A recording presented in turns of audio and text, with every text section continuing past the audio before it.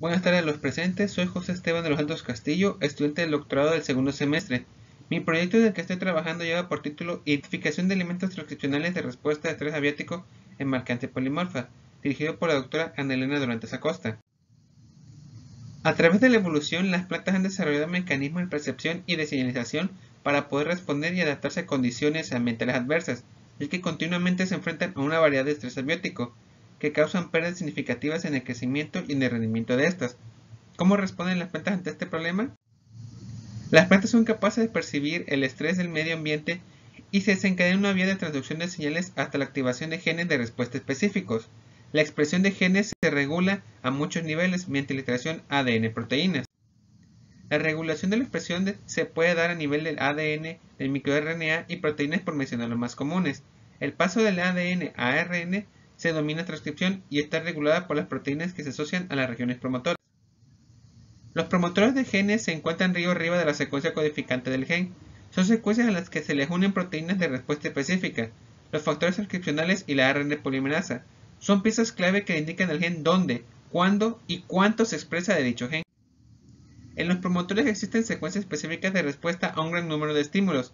Secuencias son regiones definidas del promotor que reconocen los factores transcripcionales y transcriben genes que les permiten al, organismo contender contra un estrés dado.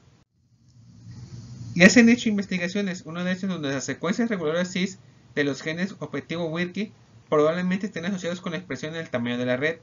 Otra investigación es donde las plantas transgénicas de Marcantia demostraron que la presencia de mecanismos de respuesta específicos de ABA mediadas por elementos reguladores cis conservados en las hepáticas lo que implica que los mecanismos se adquirieron en los ancestros comunes.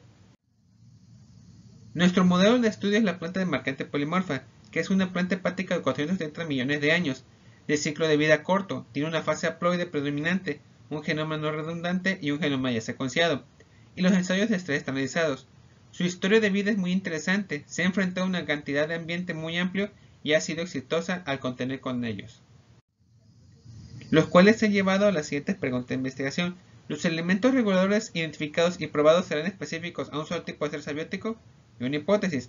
¿Los elementos reguladores transcripcionales identificados en respuesta a estrés salino o estrés por aumento de temperatura podrán responder a más de un estímulo ambiental?